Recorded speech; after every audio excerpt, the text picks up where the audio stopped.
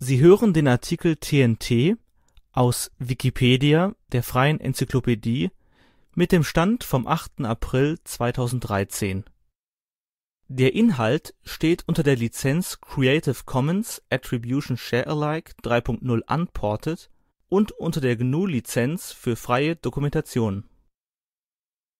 TNT ist das zweite Studioalbum der deutschen Hip-Hop-Gruppe Dynamite Deluxe.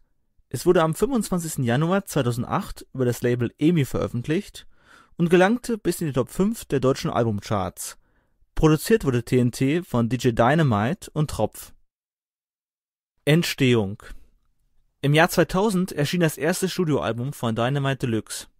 Dieses wurde unter dem Titel Deluxe Soundsystem veröffentlicht und gilt als eines der bedeutendsten und einflussreichsten deutschsprachigen Hip-Hop-Alben. Kurze Zeit nach der Veröffentlichung des Tonträgers gab die Gruppe ihre Trennung bekannt. In den nachfolgenden Jahren arbeiteten Samy Deluxe, Tropf und DJ Dynamite an Soloprojekten.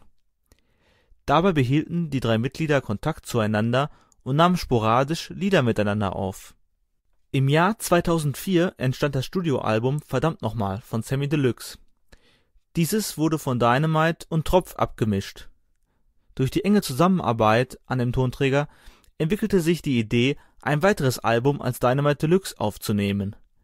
So begannen die drei Musiker im Anschluss an die Veröffentlichung von Samy Deluxe’ zweitem Soloalbum mit den Aufnahmen von TNT. Diese dauerten drei Jahre an. Für mich war Dynamite Deluxe abgehakt. Ich habe nicht weiter darüber nachgedacht. Es war auch gut so, wie es war. Aber das hat den Reiz letztlich nur erhöht, sieben Jahre später noch ein zweites Album zu machen und damit das Gesamtbild einer Band, das ja doch stark mit einer ganz bestimmten Zeit behaftet war, noch etwas zu vervollständigen und zu verfeinern so DJ Dynamite gegenüber der Hip-Hop-Zeitschrift Juice. Die Arbeit an TNT wurde über drei Jahre geheim gehalten. Dynamite Deluxe weihte nur wenige Personen von EMI sowie einige Vertreter der Medien ein, die sich mit dem Musikgenre Hip-Hop beschäftigen. Der Grund für diese Entscheidung war, dass sich die Mitglieder unsicher darüber waren, ob die enge Zusammenarbeit nach der mehrjährigen Pause noch zu zufriedenstellenden Ergebnissen führen würde damit hielt sich die Gruppe die Option offen, die Produktion des Albums abzubrechen. Die Bekanntgabe, dass Dynamite Deluxe als Gruppe wieder zusammenarbeiten, erfolgte 2007 in der September-Ausgabe des Hip-Hop-Magazins Juice. Darin wurde eine zweiseitige Anzeige abgedruckt, die das Dynamite Deluxe-Logo und einen Hinweis auf Januar 2008 zeigt. Am 15. September 2007 trat die Hamburger Gruppe schließlich im Rahmen der Feier zum zehnjährigen Jubiläum der Juice in München erstmals wieder gemeinsam auf. Versionen TNT erschien in drei CD-Editionen sowie einer Vinyl-Version. Die Standard und die Vinyl-Version bestehen aus insgesamt 13 Liedern. Zeitgleich zu diesen Versionen wurde eine Special Edition veröffentlicht. Diese besteht aus der TNT-CD und einer DVD. Die Special Edition wurde auf 10.000 Einheiten limitiert als dritte Version erschien eine MZ.com Edition.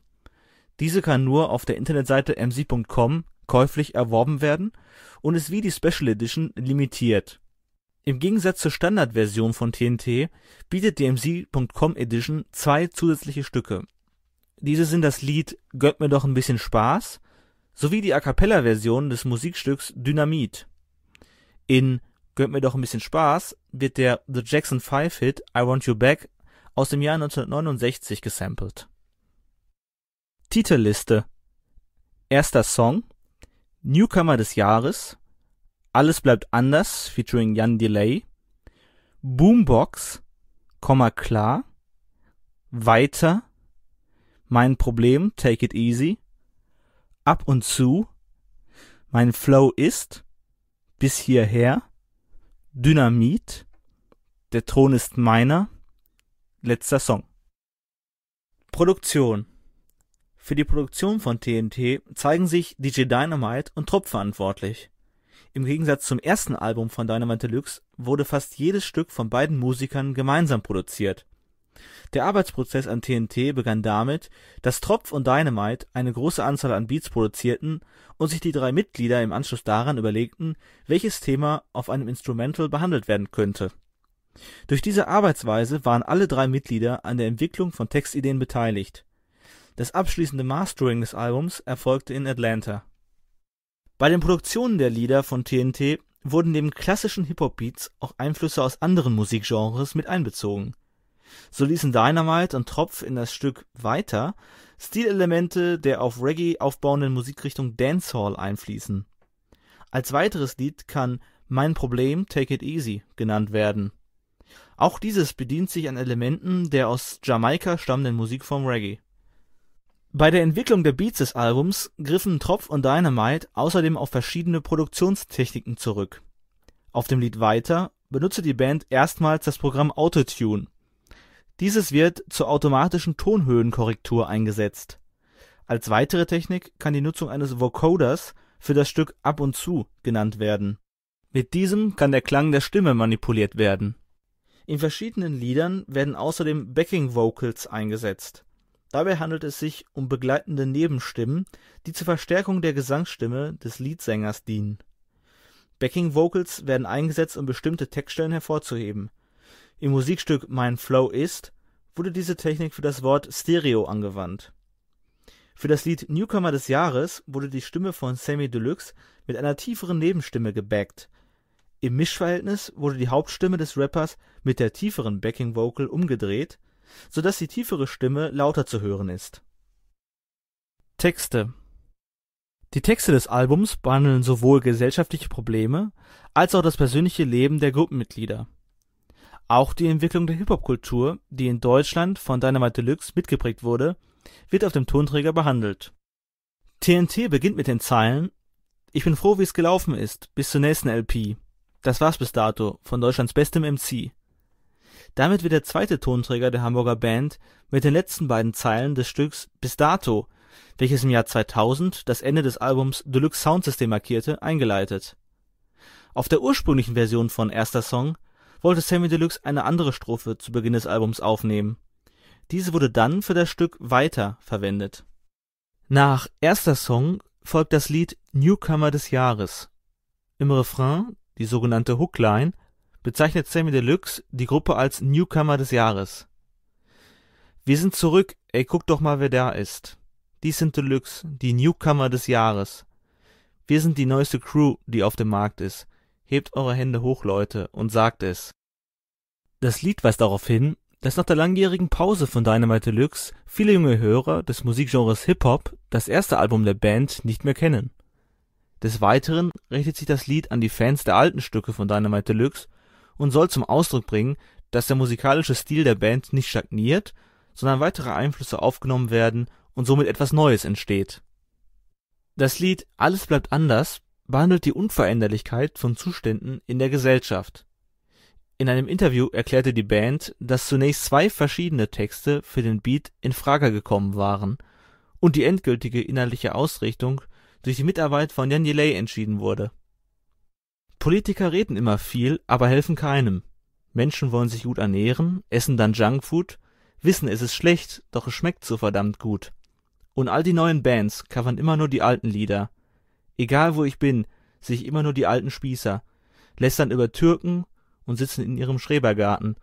Abends siehst du sie dann um die Ecke bei dem Kebabladen.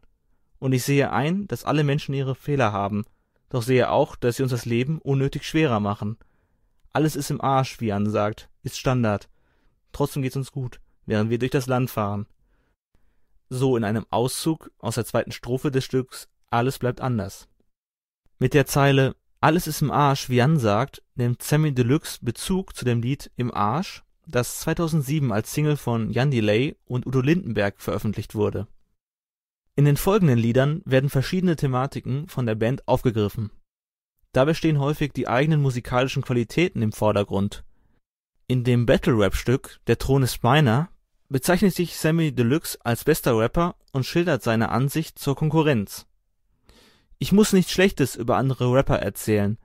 Ich rappe so gut, dass andere Rapper sich schämen. Denn wenn ich ehrlich bin, ich habe keinen anderen Rapper gesehen, der es nur annähernd wert wäre, ihn hier jetzt zu erwähnen. Auch im Stück Dynamit, welches als letztes Lied des Tonträgers fertiggestellt worden ist, behandelt die Band den eigenen musikalischen Stil und will mit dem Musikstück primär auf die Wiedervereinigung der Gruppe hinweisen auf Boombox beschreibt Samy Deluxe die Hip-Hop-Szene zur Entstehungszeit des Albums Deluxe Soundsystem. Diese ist durch die Zuneigung einer kleinen Gruppe zur Kultur geprägt. Ich hoffe, dass der Sound ein paar alte Erinnerungen weckt, als Hip-Hop hier noch besser war, bevor jeder hier ein Rapper war. Der Rapper stellt dabei die deutsche Szene zur Jahrtausendwende mit der Hip-Hop-Kultur im Jahr 2008 kritisch gegenüber. Deluxe stellt seinen Eindruck heraus, dass 2008 das Image und die Vermarktung von Rappern die wichtigsten Aspekte in der Hip-Hop-Musik geworden sind. Dies steht im Gegensatz zur Haltung der Hamburger Rap-Szene Ende der 1990er Jahre, als die Kultur und die musikalische Qualität im Fokus standen. Positiv sieht Samy Deluxe die verstärkte Popularität der Hip-Hop-Musik. Diese war zunächst einer kleinen Gruppe vorbehalten, da es nur wenige Medien gab, die sich mit diesem Thema auseinandergesetzt haben. Deluxe weist darauf hin, dass es 2008 zahlreiche Hip-Hop-Magazine und Internetseiten gibt. Am Ende beider Strophen von Boombox stellt der Rapper heraus, dass Dynamite Deluxe Hip-Hop repräsentieren und die Entwicklung der Kultur aktiv mitgestaltet haben. In dem Stück Komma klar thematisiert Samy Deluxe seinen Unmut über Fans seiner Musik, die ihn treffen und seine Privatsphäre nicht akzeptieren. Laut Aussage des Rappers wird mit Komma klar eine Trilogie abgeschlossen, die mit den Liedern VIP und Warte mal Sam begann. Das Thema ist auf jeden Fall ein sehr reelles aus meinem Alltag, aber gleichzeitig auch nichts, über das ich mich übertrieben aufrege. Klar, wenn ich ganz offensichtlich als Semi-Sorge unterwegs bin, mit einer Frau, meinem Kind oder meiner Mutter, dann nervt es, wenn ich von fremden Leuten auf Homie angelabert werde. Aber sonst kann ich das irgendwie sogar nachvollziehen, gerade im Club, wo die Leute ja auch breit sind. Deswegen erzähle ich die ganzen Geschichten, die mir ständig passieren, schon gar nicht mehr, sondern fasse das eben auf meine Weise in einem Song zusammen. So Sammy Deluxe gegenüber der Hip-Hop-Zeitschrift Juice. In Mein Problem, Take It Easy, besingt Sammy Deluxe seine Ambitionen, mit einer bestimmten Frau eine Beziehung zu führen. Dies scheitert jedoch an der nicht erwiderten Liebe. Das Album schließt mit dem Lied Letzter Song ab. Darin stellt sich Sammy Deluxe die Frage, was er den Leuten erzählen würde, wenn dies sein letztes Lied wäre. Außerdem bedankt sich der Rapper bei verschiedenen Menschen, die in seinem Leben eine Bedeutung haben, darunter der Rapper Afrop, seine Bandmitglieder DJ Dynamite und Tropf, Hip-Hop-Musiker Torch und seine Fans. Gastmusiker Im Gegensatz zum Großteil der Veröffentlichungen des Musikgenres Hip-Hop beinhaltet TNT lediglich einen Gastbeitrag dieser stammt von dem deutschen Hip-Hop, Reggae und Funk-Musiker Jan Philipp Eißfeldt, welcher auf dem Tonträger unter dem Künstlernamen Jan Delay auftritt. Delay singt auf dem Musikstück Alles bleibt anders den Refrain. Er stammt, wie Dynamite Deluxe, aus der Hansestadt Hamburg und war bereits vor Veröffentlichung von TNT ein langjähriger Freund der Gruppe. So begleitete etwa Produzent Tropf im Jahr 2007 die Tournee von Jan Delay. Da die Studios von Tropf und Jan Delay direkt benachbart sind war Delay am Entstehungsprozess von TNT beteiligt, was schließlich zur Produktion des Lieds Alles bleibt anders führte. Bereits im Jahr 2000 war Jan Delay als einer von wenigen Gastmusikern auf Deluxe Soundsystem vertreten. Auf diesem ist das Stück Grüne Brille zu hören. Das Lied, in welchem die Abhängigkeit zu Marihuana thematisiert wird, wurde als Single ausgekoppelt und ist eines der bekanntesten Stücke von Dynamite Deluxe der Grund, warum neben Jan Delay kein weiterer externer Musiker an der Produktion des Albums beteiligt war, liegt darin begründet, dass der Fokus des Albums auf der Hamburger Band liegen soll. Des Weiteren verweist der Produzent Tropf in einem Interview auf Samy Deluxe’ Talent, Texte zu schreiben, was darin resultiert, dass Gastbeiträge anderer Rapper nicht notwendig seien, um die Qualität des Tonträgers zu steigern. Vermarktung Singles als Vorbote auf TNT veröffentlichte Dynamite Deluxe das Lied Boombox. Dieses wurde im Aufnahmeprozess des Albums als erstes Stück fertiggestellt. Die Band stellte Boombox kostenlos im Internet zur Verfügung. Zu dem Lied wurde ein Video, das zu einem Großteil aus Aufnahmen von Konzerten besteht, gedreht. Am 14. Dezember 2007 waren DJ Dynamite und Sammy Deluxe in der MTV-Show TRL XXL zu Gast Dort stellten sie das Video zur ersten Single Dynamit vor. Dynamit erreichte in den TRL Most Wanted Charts der MTV-Sendung direkt Platz 2 und konnte in den folgenden Wochen auch Position 1 belegen. Die Single wurde am 11. Januar 2008 veröffentlicht. Der Tonträger beinhaltet fünf Lieder sowie das Video zu dem Stück Boombox. Zu den fünf Liedern gehören die Album - und die Instrumental-Version sowie ein Moon Bootica Club-Mix und ein Tropf-Remix des Stücks Dynamit sowie das Lied So laut es geht. Als zweite Single wurde das Musikstück Alles bleibt anders ausgesucht. Die Single zum Lied wurde am 14. März 2008 veröffentlicht. Auf dieser ist neben dem Titellied auch das Stück Türpolitik zu hören. Zu Alles bleibt anders wurde ebenfalls ein Video gedreht. In diesem ist Samy Deluxe in einem Raumanzug zu sehen. Der Rapper läuft im Video alleine durch unterschiedliche Gegenden wie Wälder oder Tunnel und trifft im Verlauf des Videos auf verschiedene Personen, die sich ihm gegenüber ablehnend verhalten, so dass Samy Deluxe nach jedem Zusammentreffen wieder alleine ist. Beide Singles wurden neben einer CD-Version auch als Vinyl-Maxi-Single veröffentlicht. Am 26. September 2008 veröffentlichte das Label EMI die dritte Single Weiter. Auf dieser sind neben der Originalversion des Titels auch eine Instrumentalversion von Weiter sowie die Stücke König der Löwen, Zugabe und Easy Dub zu hören. Auch zur dritten Single wurde ein Video gedreht. Juice Nachdem Dynamite Deluxe im September 2007 bei der Feier zum zehnjährigen Jubiläum des Hip-Hop-Magazins Juice aufgetreten waren, widmete das Münchner Magazin der Gruppe die Titelgeschichte in ihrer Januar-Februar-Ausgabe. Im Rahmen der Titelgeschichte führten die Redakteure ein Interview mit Samy Deluxe, DJ Dynamite und Tropf und boten Dynamite Deluxe die Möglichkeit, als Gastredakteure zu arbeiten. So verfasste Samy Deluxe die Kolumne Das letzte Wort, welche in der Regel von dem Musikjournalisten Falk Schacht geschrieben wird. DJ Dynamite führte ein Interview mit DJ Drama für die 104. Ausgabe der Juice. Im Rahmen der Veröffentlichung des Albums bekamen die Mitglieder von Dynamite Deluxe außerdem die Gelegenheit, die CD der Juice zu gestalten. Dabei riefen Samy Deluxe, Tropf und Dynamite bekannte deutsche Hip-Hop-Künstler dazu auf, Lieder des ersten Albums Deluxe Soundsystem neu zu interpretieren. Dabei schrieben die Interpreten neue Texte auf die Beats des ersten Albums.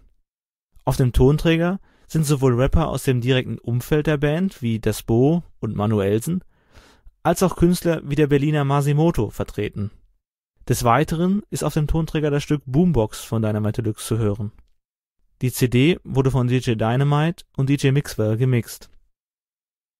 Tournee Im Februar 2008 gingen die Mitglieder von Dynamite Deluxe auf Tournee. Diese benannten sie nach dem Album TNT Tour. Das erste Konzert fand am 6. Februar 2008 in Lüneburg statt. Am 5. März wurde in Hamburg das Abschlusskonzert der insgesamt 19 Städte umfassenden Tournee veranstaltet bei der Tournee wurde Dynamite Deluxe von DJ Haitian Star und dem deutschen Rapper D-Flame begleitet. DJ Haitian Star übernahm dabei die Moderationsrolle und legte vor und nach dem Auftritt von Dynamite Deluxe Platten auf. D-Flame war zur Zeit der Entstehung des ersten Albums Deluxe Soundsystem bereits als Backup-Rapper von Samy Deluxe auf Konzerten der Gruppe vertreten. Nach der engen Freundschaft zwischen Samy Deluxe und D-Flame folgten einige Jahre in denen sich die beiden Musiker laut Aussage von Samy Deluxe auseinanderlebten. Nachdem im Jahr 2007 der Kontakt wieder enger geworden war, entschied sich Dynamite Deluxe, den Frankfurter erneut mit auf Tournee zu nehmen. Außerdem begleiteten die Sängerinnen Alex Prince und Miss Marx die Tournee. Diese traten als Background-Sängerinnen auf. Alle an der Tournee beteiligten Personen sind langjährige Freunde der Gruppe. Boris Ekambi arbeitete dabei am Monitor Stefan King-Konkel war für die Lichttechnik verantwortlich und Tropf übernahm die Abmischung. In einem Interview erklärte DJ Dynamite die Bedeutung der Live-Auftritte für die Gruppe. Wir sind aus einer Zeit, in der sich alles um die Live-Auftritte drehte. Bei uns kamen erst die Shows und dann die Platten. Von daher war uns immer wichtig, dass die Shows rund sind und alles vernünftig klingt. Obwohl wir anfangs ja auch nur Gagen von 4000 D-Mark hatten man es also schon gemerkt hat, wenn man zusätzlich noch einen Soundmann mitgenommen hat. Aber ohne dass wir es wussten, war das von Anfang an unser smartester Business Move. Durch die hohe Qualität haben wir bis heute kontinuierlichen Zulauf und das ist bei den Unwägbarkeiten der Verkaufszahlen eine coole Basis, so DJ Dynamite gegenüber dem Hip-Hop-Magazin Juice. Illustration Das Artwork des Albums wurde von dem Hamburger Grafikbüro Typeholics gestaltet. Dieses wurde 1998 gegründet und zeichnete bisher unter anderem für die Gestaltung des Logos der Gruppe Dynamite Deluxe sowie des Covers des Jan Delay Albums Mercedes Dance verantwortlich. Im Fall des Covers von TNT konzipierte der Grafiker Kool Keats das Frontbild des Tonträgers. Das Cover zu TNT zeigt einen zerbrechenden Eisblock vor schwarzem Hintergrund. Dabei ist das Eis blau gefärbt und das Logo von Dynamite Deluxe ist im Block eingraviert. Bei der Fotografie des Covers wurde ein Eisblock aus einer Höhe von drei Metern fallen gelassen. Das aufschlagende Eis wurde daraufhin mit Hilfe der Chronofotografie aufgenommen. Die so entstandenen Bilder wurden im Anschluss nicht nachbearbeitet. Insgesamt entstanden etwa 40 Fotos, auf denen jeweils zerspringende Eisblöcke in unterschiedlicher Färbung zu sehen sind. Die Eisblöcke wurden in Hamburg bearbeitet, eingefärbt und anschließend in Styroporbehältern nach Düsseldorf transportiert, wo die Fotos für das Artwork entstanden. Rezeption Erfolg TNT stieg in der siebten Kalenderwoche des Jahres 2008 auf Platz 5 der deutschen Musikcharts ein. Im Folgenden belegte der Tonträger zunächst Position 36 und konnte in den anschließenden Wochen die Plätze 57 und 78 belegen. In Österreich stieg TNT auf Platz 24 der Charts ein. Der Tonträger konnte sich dort zwei Wochen in der Hitparade halten. In der Schweiz konnte das Album Platz 7 der Albumcharts erreichen im Anschluss an die erste Woche fiel der Tonträger auf Position 46 ab. In der dritten Woche belegte TNT noch Platz 62 und in der vierten Position 85. Die erste Single Dynamit konnte nach der ersten Verkaufswoche Platz 29 der deutschen Media Control Charts belegen. In den anschließenden zwei Wochen erreichte der Tonträger jeweils die Position 64. Nach der vierten Verkaufswoche konnte Dynamit noch Platz 81 und in der nachfolgenden Woche Platz 88 belegen. Auch die zweite Single Alles bleibt anders stieg in die deutschen Singlecharts ein. Dort belegte der Tonträger in der ersten Woche Platz 71. Kritik Die Kritiken zu TNT fielen positiv aus.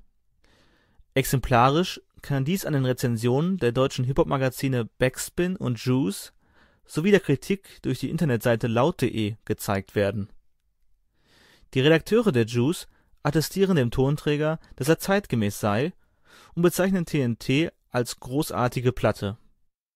Das zweite Studioalbum von Dynamite Deluxe erhielt in der Rezension des Magazins fünf von möglichen sechs Kronen. Die Redaktion der Backspin setzt sich in ihrer Kritik mit der musikalischen Entwicklung Samy Deluxe auseinander. In diesem Zusammenhang wird der erneute Zusammenschluss von Dynamite Deluxe als Heimkehr von Samy Deluxe bezeichnet dieser verkörpere als Resultat seiner musikalischen Entwicklung mittlerweile Dinge, die er in der Vergangenheit kritisiert habe. In allen drei Bewertungen werden die Produktionen positiv hervorgehoben. Diese seien, laut Backspin-Redaktion, der optimale Nährboden für Sammys Stimme, seine Flows und Reime. Des Weiteren werden die Reggae- und Dancehall-Einflüsse, die sich in den Beats der Lieder Mein Problem, Take It Easy und Weiter niederschlagen, als gelungen hervorgehoben. Gelobt wird in den Kritiken außerdem die Rap-Leistung von Samy Deluxe. Dieser präsentiere sich, laut Dani Fromm, der zuständigen Redakteurin der iSeinlaut.de, in Bestform. Die Vortragsweise des Rappers sei durch hervorragend gepflegte Arroganz geprägt, was ebenfalls von laut.de gelobt wird. Negativ kritisiert Dani Fromm die Texte des Albums. Diese haben wenig Inhalt und reichen über übliche Selbstabfeierei, selbstreflektive Nabelschau und überflüssiges Wir sind zurück, guck doch mal, wer da ist Gepose nicht hinaus. Als textliche Ausnahmen erweisen sich laut Fromm die Musikstücke Mein Problem, Take It Easy und Letzter Song. Trotz des geringen Inhalts erhält TNT vier von möglichen fünf Bewertungspunkten der Seite laut.de, da die geringe Themenvielfalt angesichts der guten Produktion verzeihbar sei auch der zuständige Redakteur der Backspin kritisiert die Texte und merkt an, dass einige Aussagen von Samy Deluxe in ähnlicher Weise bereits auf früheren Veröffentlichungen zu hören waren. Dennoch zeige sich Deluxe aus Sicht der Backspin als Top-MC. Im Gegensatz zu den Redaktionen von Laut.de und der Backspin lobt das Magazin Juice die Vielseitigkeit des Albums sowie des Rappers Samy Deluxe. Dieser vereine alle Qualitäten, die für einen guten Rapper notwendig seien. Dazu werden in der Bewertung genannt klassisches Geschichtenerzählen auf Roots-Reggae-Basis (Mein Problem (Take it easy)), überabgeklärtes Boosten über Drama-Synthies (Der Thron ist meiner), Sozialkritik über 80s Pop (Alles bleibt anders), Party-Arty über autogetunten Mitt-90er Dancehall (Weiter) und nicht zuletzt auch top-motivierte Flow-Beschau in A-cappella (Newcomer des Jahres). Negativ werden von der Redaktion der Juice die Lieder Ab und zu und Boombox gewertet. Dabei nerve der Refrain des Stücks ab und zu. Boombox füge sich aus Sicht des Magazins nicht in den Kontext des Albums ein. Der Artikel TNT wurde von Dominik Lippe mit dem Benutzernamen Lipstar am 8. April 2013 gesprochen. Eine unverbindliche Zusammenfassung der Lizenz Creative Commons Attribution Share Alike 3.0 Unported kann unter creativecommons.org slash licenses slash by sa slash 3.0 slash deed.de nachgelesen werden ein Link auf den vollständigen Text der Lizenz findet sich dort. Der Text der GNU-Lizenz für freie Dokumentation kann unter www.gnu.org/copyleft/fdl.html nachgelesen werden. Der Artikel findet sich unter de.wikipedia.org/wiki/tnt (Album) Eine Liste der Autoren und die Versionsgeschichte dieses Artikels können über den dortigen Link Versionsgeschichte abgerufen werden